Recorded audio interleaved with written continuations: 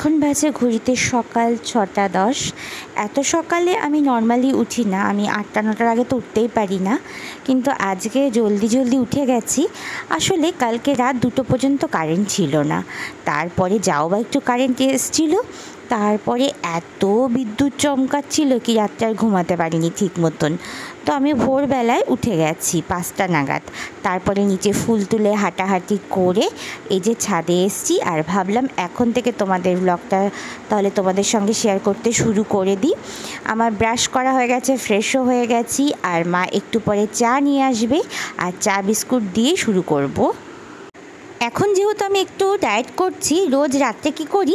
একটা করে আমন্ড আমি জলে ভিজিয়ে রাখি আর সকালবেলায় হলে খোসাটা ছাড়িয়ে খেয়ে নিই। ঘুম থেকে উঠে আগে যদি কোনো ওষুধ থাকে, আমার যেরকম থাইরয়েড আছে বলে আমি থাইরয়েডের ওষুধটা আগে খেয়ে নিই। তারপরে এই যে আমন্ডটা খাই, তারপরে দু পাঁচ মিনিট পরে তারপর আমি চা, বিস্কুট এগুলো খাই। তো মা চা বানাতে গেছে, মা এক্ষুনি চা নিয়ে চলে আসবে। মা চা, বিস্কুট আর মুড়ি নিয়ে চলে এসেছে। সকালবেলায় চা না খেলে দিনটা ভালো শুরু হয় না। আর ও যে দেখতে পাচ্ছ মিষ্টি, ও কিন্তু বসে আছে বিস্কুট আর মুড়ির লোভে। তো ও খেতে ভীষণ ভালোবাসে মা, ওর জন্য আলাদা করে বিস্কুট এনেছে। তো যাই হোক, আমি সকালবেলায় একটু চা, বিস্কুট, মুড়িটা তাহলে খেয়ে নিই। তারপর কথা বলি তোমাদের সঙ্গে। আজকে যেহেতু সানডে আজকে স্পেশাল মেনু আছে চিকেনের লাল ঝোল। তো প্রথমে মা এই যে আলুগুলো ভেজে তুলে নিচ্ছে, সেই আলু ভাজা তেলের মধ্যে আরেকটু তেল দিয়ে শুকনো লঙ্কা, গোটা শুকনো লঙ্কা, তেজপাতা জৈত্রী, আর এখানে আছে স্টার অ্যানিস আমি ফোড়নে দিয়েছি এবং পেঁয়াজ কুচি দিয়ে এবার লাল লাল করে ভেজে নিতে হবে। আর এই ফোড়নটা দিয়ে রান্না করলে কিন্তু চিকেনটা বেশ অন্যরকম লাগে। সকলেই তো গরম মশলা ফোড়ন দাও, জিরে ফোড়ন দাও, কিন্তু এই ফোড়নগুলো স্টার আনিস জৈত্রী এগুলো যদি একটুখানি ফোড়ন দাও না, দারুণ লাগবে। তো এর মধ্যে পরিমাণ মতন আমি লবণও দিয়ে দিয়েছি পেঁয়াজ ভাজার সময়। আর এখানে একটা বাটা মশলা দিচ্ছি। এখানে আছে আদা, রসুন, কাঁচা লঙ্কার মধ্যে যেগুলো পাকা পাকা, সেগুলো, জিরে, ধনের গুঁড়ো দিয়ে ভালো করে মিক্সিতে পেস্ট করে নেওয়া হয়েছে। আর হলুদের গুঁড়ো তো রয়েই গেছে। এরপরে এই যে মশলাটা দিয়ে তার মধ্যে আমি এই যে চিকেনটাকে দিয়ে দিলাম। আর এই চিকেনটা কিন্তু ভিনিগারে ধুয়ে নিয়েছি। জল এবং ভিনিগারের সাহায্যে ধুয়ে নিয়েছি। এবার মাংসটার সঙ্গে মশলাটা ভালো করে কষে নিতে হবে। এটা খেতে কিন্তু দারুণ লাগে। একটু যদি চিকেন আমরা অন্য রকমভাবে রান্না করি না, খেতে দারুণ লাগবে। তো এখন ভালো করে হাই ফ্লেমে প্রথমে চিকেন দেওয়ার সঙ্গে সঙ্গে দেড় থেকে দু মিনিট ভালো করে নাড়াচাড়া করে নেব। তাহলে কি হবে? চিকেনের কালারটা চেঞ্জ হয়ে যাবে চিকেনটা ভেঙে যাবে না। তো দেখো, এর মধ্যে আমি অর্ধেকটা টমেটো কুচি দিয়ে দিলাম। চিকেনের মধ্যে টমেটো কুচি দিলে বেশ ভালো লাগে। মাটনের মধ্যে না দিলেও চলে, কিন্তু চিকেনের মধ্যে দিলে বেশ ভালো লাগে। কষানোর একদম লাস্টের দিকে আমি এভারেস্টের এই যে চিকেন মশলাটা দিয়ে দিচ্ছি, বা মিট মশলা। এভারেস্টেরটাই আমার খুব ভালো লাগে। তো এর মধ্যে আমি একদম লাস্টের দিকে, কষানো দেখো একদম লাস্টের দিকে আমি এই মশলাটা দিই। টেস্টটা কিন্তু একদম অন্যরকম হয়। দিয়ে আরও একটু কষে নেব। আর এই যে কষানো হয়ে গেছে এর মধ্যে গরম জল পরিমাণ মতন অ্যাড করব। এবার একটুখানি জল দিয়ে নাড়াচাড়া করে দেব, মশলাটা একদম ঠিকঠাক করে নেব। দিয়ে এটাকে কিন্তু এবার ঢাকা চাপা দিয়ে রাখতে হবে, এটাই যা সময়। এবার এই ঢাকা চাপা দিয়ে কমসে কম কুড়ি থেকে পঁচিশ মিনিট আমরা রেখে দেব। আর এর মধ্যে একটু আলুগুলো যেগুলো ভেজে তুলে রেখেছিলাম, সেগুলো এক এক করে দিয়ে দেওয়া হলো। এবার ঢাকা চাপা দিয়ে কুড়ি থেকে পঁচিশ মিনিট রেখে দিতে হবে। কুড়ি পঁচিশ মিনিট পরে ঢাকা চাপাটা আমি খুলে দেখব যে কেমন হয়েছে। গন্ধ তো অসাধারণ বেরিয়েছে। এবার দেখব যে হ্যাঁ চিকেনগুলো তো খুব তাড়াতাড়ি রান্না হয়, সেটা নিয়ে সন্দেহ নেই। কিন্তু আমি একটু বেশি সময় ধরে ব্রয়লার মুরগি যখন রান্না করি, তখন একটু বেশি সময় ধরেই রান্না করি। তো দেখো, এবার জাস্ট ঝোলটা কমিয়ে নেব হাই ফ্লেমে আর এর মধ্যে না, আমি দেখাতে ভুলে গেছি, কাশ্মীরি, একদম লাস্টে কাশ্মীরি লঙ্কার গুঁড়োটা এভারেস্টে দিয়ে দিয়েছি।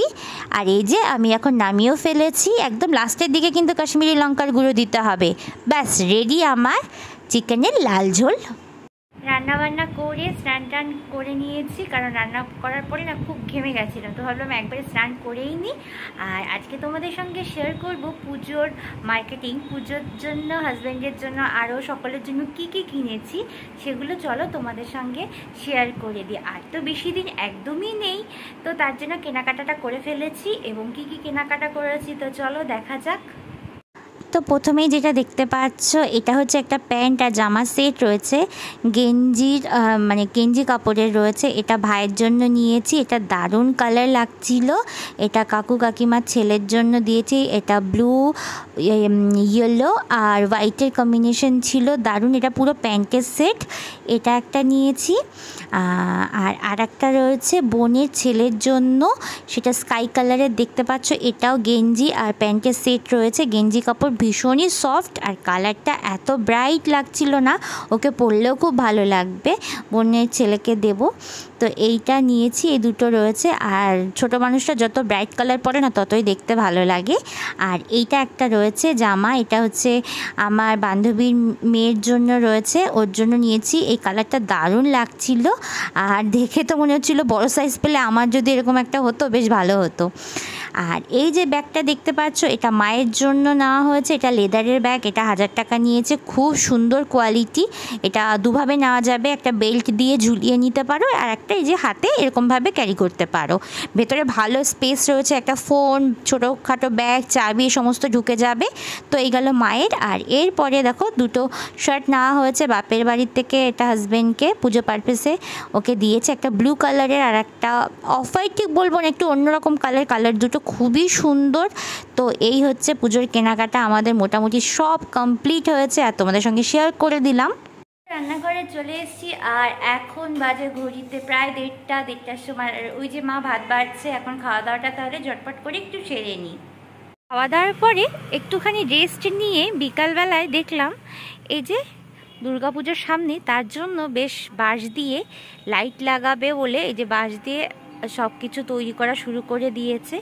বেশ দুর্গাপুজো দুর্গাপুজোর ওয়েদার হয়ে গেছে, কিন্তু আজকে সারাদিনটাই না এরকম মেঘলা করে থাকল। আর কি করা যাবে কিছু করার নেই, ঘুম থেকে উঠেছি ফ্রেশও হয়ে গেছি। আর মাকে বললাম একটু চাটা বানাবে, এরপরে পার্লারে যাব নিচে। আর কালকে রাত্রে একটু বৃষ্টি হয়েছিল, তার জন্য আজকে আর গাছের গোড়াতে জল দিতে হবে না, গাছের গোড়াগুলো ভিজেই আছে। এই মানি প্ল্যান্টটা বেশ সুন্দর হয়েছে, একে আবার কাটিং করতে হবে। কাটিং করলে মানি প্ল্যান্টটা বেশ ভালো থাকে। এই যে দেখতে পাচ্ছ, এটাকে একটু কাটিং করব, ভেবেছি। বেশ, তাহলে আজকে আর করব না, কাল পরশু করব কাটিংটা। আর এই গাছটা কালকে বের করতে ভুলে গেছিলাম, নাহলে এই গাছটাও জল পেতো বাদ বাকি তো এই গাছগুলো জল পেয়েই রয়েছে। পার্লারে চলে এসেছি আর একটু পরেই চলে আসবে।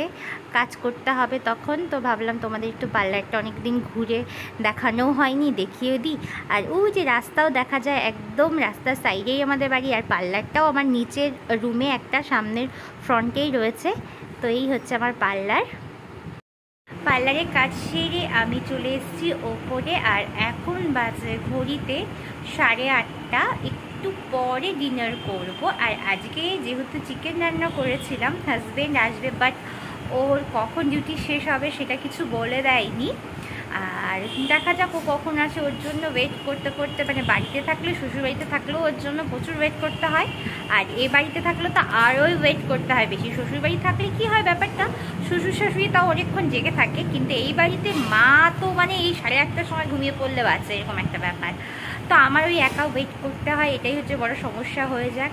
তো যাই হোক, দেখা যাক এবার ও কখন আসে। আর মা মিষ্টিকে খেতে দিয়ে দিয়েছে। ওর আটটা থেকে সাড়ে আটটার সময়, রাত্রে ডিনার করার সময় থাকে ওর। আর তো এখন ডিনার টিনার করছে ও। মিষ্টির খাওয়া হয়ে গেছে কমপ্লিট কি রে, তোর খাওয়া হয়ে গেছে? আর দুষ্টুমি করছিস? আর রাত্রে আমি রোজ একটা করে আমন্ড আমি যে ভিজিয়ে রাখি, তো সেটার এখন ব্যবস্থা করব। আমন্ড খাওয়া শরীরের পক্ষে ভীষণ ভালো। তো রোজ একটা করেই খাই আমি। আমি এই কাজু বাদাম বলো, আমন্ড বলো, এগুলো বিশেষ মানে খুব ভালো খাই। কিন্তু কাজু বাদাম তো এখন খাওয়া যাবে না। তো তার জন্য আমি রোজ একটা করে এই যে রাত্রেবেলায় ভিজিয়ে রাখি। তোমাদের তো প্রথমে ঘুম থেকে উঠেই দেখিয়ে দিয়েছিলাম, এই যে থাকল। এটাকে এখন এই যে রেখে দেবো, সকালে উঠে এটা খাওয়া হবে। এই মিষ্টি, চল, আয়। চল চল চল চল। টয়লেট করবি। যা যা, ছাদে চলে যা। একদম এসির ঘরে যাবি না, বাধ্য মেয়ের মতন। আয়। যা যা যা। মিষ্টি খুব কথা শোনে। যা, দুষ্টুমি করবি না। তো মিষ্টি চলে গেছে বাইরে ছাদে। রাত্রের আমাদের ডিনার হয়ে গেছে। আর ওই দেখো মিষ্টি ওখানে শুয়েও পড়েছে। পাখাটা সেট করব একটু পরে। আর এদিকে মা আর আমি টিভি দেখছি, আর আমাদের টিভি রাত্রেবেলা একটু বেশিই দেখি, আমি অন্তত বেশি দেখি। তো যাই হোক গুড নাইট সকলে, ভালো থাকো, সুস্থ থাকো। তোমাদের পরে আবার ব্লগে দেখা হবে।